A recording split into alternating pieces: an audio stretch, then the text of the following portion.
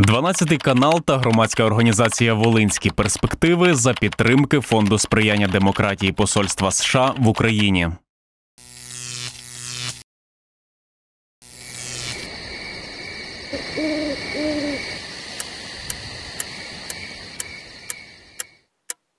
Знову ті важкі спогади. Ти спиш? Ні, не сплю. Усі історії у фільмі реальні. Ольга 29 років. Постраждала від торгівлі людьми. Інвалід з дитинства. Ярослав 36 років. Постраждали від торгівлі людьми. Світлана 51 рік. Постраждала від торгівлі людьми. Людина з інвалідністю. Дуже багато наших українців їдуть за кордон, думають, що це все так легально. Робота за кордоном це не обов'язково сексуальне рабство, але потрібно бути дуже обережними. Щодня громадяни України, чоловіки, жінки, діти, люди з інвалідністю залишають рідні домівки у пошуках кращої праці і високих заробітків. Більшість чула, що в світі існує торгівля людьми, проте майже всі вважають, що з ними такого не трапиться. Торгівля людьми. Торгівля людьми це експлуатація людини іншою людиною з метою виконання нею певних видів робіт або надання послуг для отримання прибутків. Я закінчувала школу і розуміла, що грошей на навчання для мене у нас нема. Тому вирішила спробувати щастя за кордоном. Працював на державній роботі.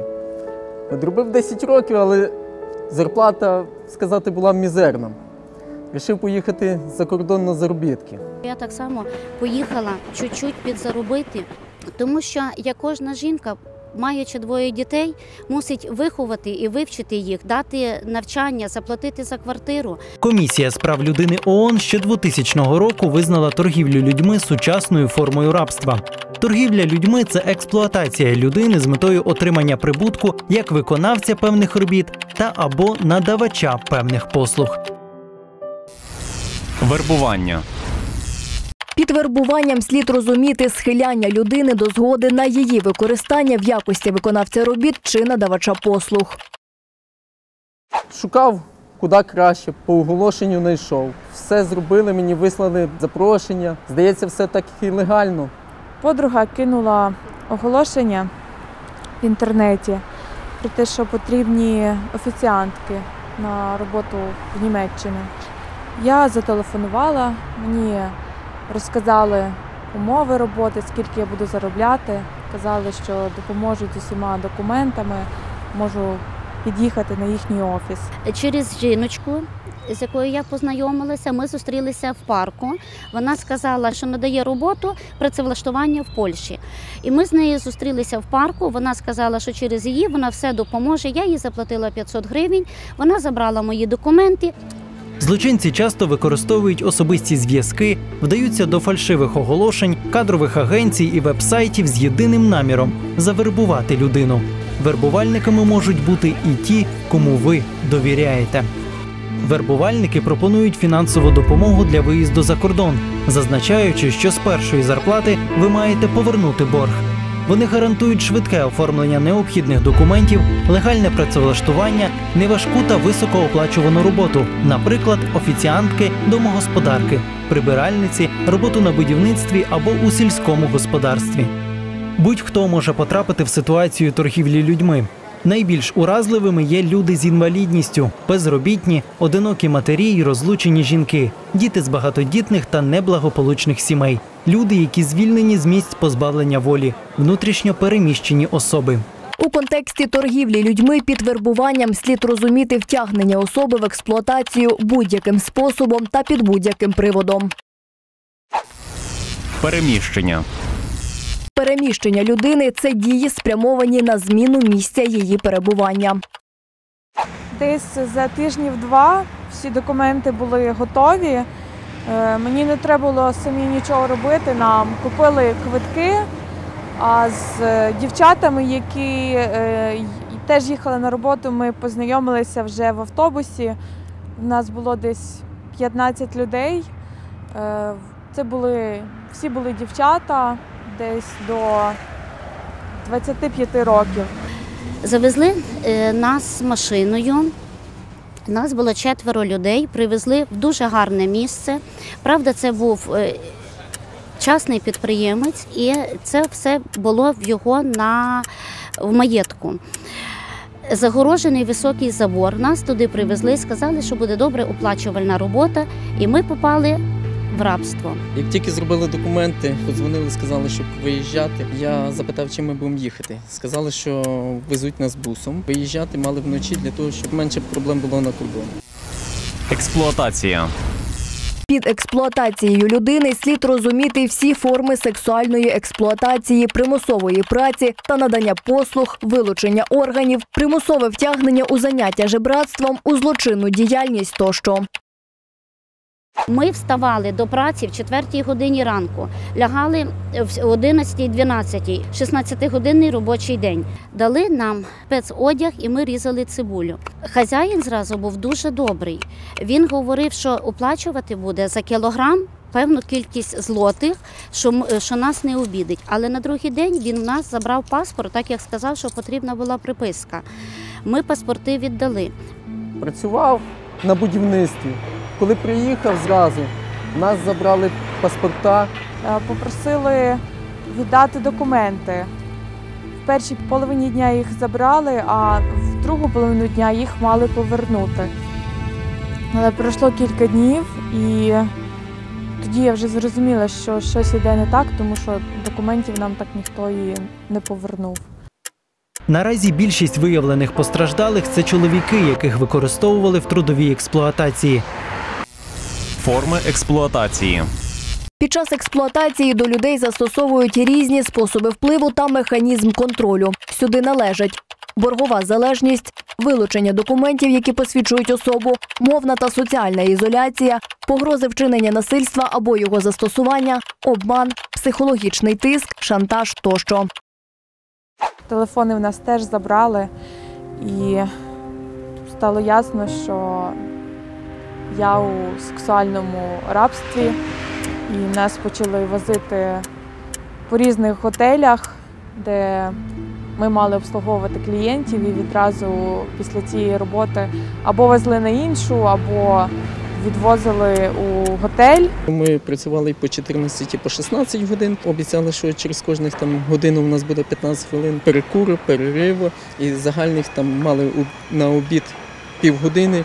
Це так не було, тому що працювали по 14 годин і взагалом е, давали півгодини на весь обід з обідом і з перекурами. То є досить мало. Ми поїхали на будівництво, а робили все, що треба і не треба. І траву косили, і листя збирали. Пан ходив і постійно кричав, що треба швидше робити, тому що ви нічого не заробите. Тобто можна сказати, що з нагайкою над нами ходив і кожен раз вимагав більше, більше, щоб ми нарізали цибулі. Приїхав товариш на об'єкт, е, почали тільки ліса складати, і йому падає буквально одна із стоїк на ногу. Ось, і палець мав проблеми з пальцем. Йому сказали, щоб їхати до лікаря. Ми те як радили поїхати до лікаря, але хазяїн сказав ні в якому разі лікаря, давайте тут щось будемо робити. Е, прикладали мазі. Ось. Бо боявся, не знаю чому, боявся вести нас до лікаря. Можливо, тому що ми нелегально працювали. Нас не кормили, була висока брама. Нас всього-навсього раз в неділю випускали із-за високої брами в магазин, щоб ми змогли піти купити е, хліб. Ну, правда, привозив, давав нам рисову крупу, перлову крупу, більше нічого. І е, за кілограм. Це була смішна ціна. Нам оплачували 29 грош. Це скільки треба було нарізати цибулі, щоб заробити хоча б якихось 50 злотих, щоб на наші гроші отримати якихось хоча б 300 гривень. В кінці роботи е, обіцяли нам заплатити нормальні гроші. В кінці, коли ми здали, е, здали об'єкт, всіх грошей нам не заплатили. Тобто сказали, що частину дали зразу, частину там скинуть кому на карточку, кому друзі, родичі привезуть назад. Але вже пройшов ось не один так місяць, ніхто ніяких грошей так і не вернув. Важко про це згадувати. Це було кілька місяців. Я не могла повірити, що це все відбувається зі мною. дуже хотіла додому, постійно плакала, але нас змушували на замовленнях, аби ми були в хорошому настрої завжди, веселі. Але відразу після того, як закінчилася робота, я плакала по дорозі. За будь-який непокір дівчат били. І одного разу побили мою сусідку. Я дуже боялася і виконувала все, все, що мені говорили. Паспорт нам ніхто не віддавав, мотивуючи тим, що якщо я поїду додому, нам грошей не заплатять. Жили дуже в страшних умовах. Не було ні душу. Е, Кухня була малесенька, і їли ми в тій кухні. І з кухні зразу був такий завод, де ми різали ту цибулю. Це була зима, дуже було холодно. Я вважаю, що не треба вестися на таку вудочку, бо ми є маленькою рибкою цих агентствах, які на нас заробляють гроші. Майже половина виявлених випадків торгівлі людьми мають змішану форму, тобто, коли до людини застосовують декілька форм експлуатації. Вирватись із ситуації торгівлі людьми є надзвичайно складно. Я зрозуміла, що треба втікати з цього місця роботи. Умови були жахливі. Почала мотивувати тим, що мені обов'язково треба поїхати на Україну, що й мама прихворіла. От, і тільки він тоді согласився, але сказав, що кошти не виплатить в зв'язку з тим, що я не добула в йому термін місяць. Одного разу я не витримала і розплакалася ще коли була там з клієнтом. Він не зрозумів, що сталося, і я не стрималася і розповіла йому ситуацію. І я думала, що вони знають. Але як виявилося, цей чоловік думав, що оскільки Німеччина е, в Німеччині легалізована проституція, що усе законно, що ми працюємо офіційно і ми самі на це пішли. Він був шокований. Йому стало мене шкода. Він сказав, що допоможе мені повернутися додому. Думала, що це просто якась насмішка, що він мені не допоможе, тому що нічого не змінювалось. Але одного разу я прийшла і він сказав, що мої документи в нього, і ми маємо зараз швидко збиратися. е, І він допоможе мені повернутися додому. Не всі трудові мігранти, які потрапили в кризові ситуації, є постраждалими від торгівлі людьми. Хоча деякі ознаки торгівлі людьми та порушення прав трудових мігрантів є схожими. Проживання в нелюдських умовах, вчинення насильства, невиплата заробітної плати, понаднормований робочий день ці ознаки є спільними як для трудових мігрантів, легальних чи нелегальних, так і для осіб, постраждалих від торгівлі людьми. Основною ознакою, яка ідентифікує особу постраждалу від торгівлі людьми, є позбавлення основоположних прав та свобод людини. У ситуації експлуатації людина не має права вибору, вільного пересування, спілкування. У неї забирають документи, до неї постійно застосовують механізми контролю та впливу. Поради перед виїздом та при працевлаштуванні. Пам'ятайте, безвіз не дає вам право на працю. Потрібен дозвіл або документи, які дозволяють працевлаштування по закордонному біометричному паспорту. Переконайтесь, що запропонована вам робота є легальною. Не виїздіть з країни, доки не отримаєте повну інформацію про місце, де ви будете працювати та проживатимете.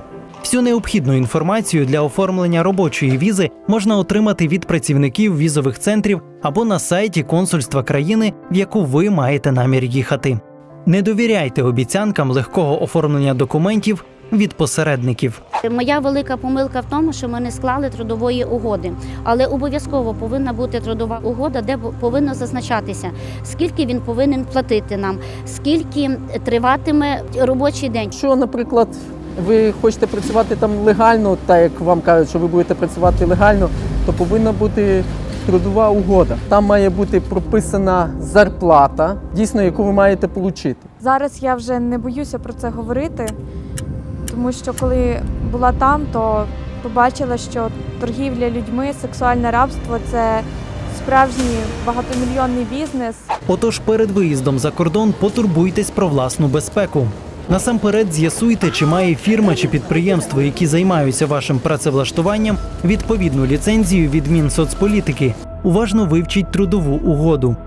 Трудова угода повинна бути складена зрозумілою для вас мовою або перекладена на мову, яку ви розумієте. Таку угоду оформляють у двох примірниках, один з яких обов'язково залишається у вас.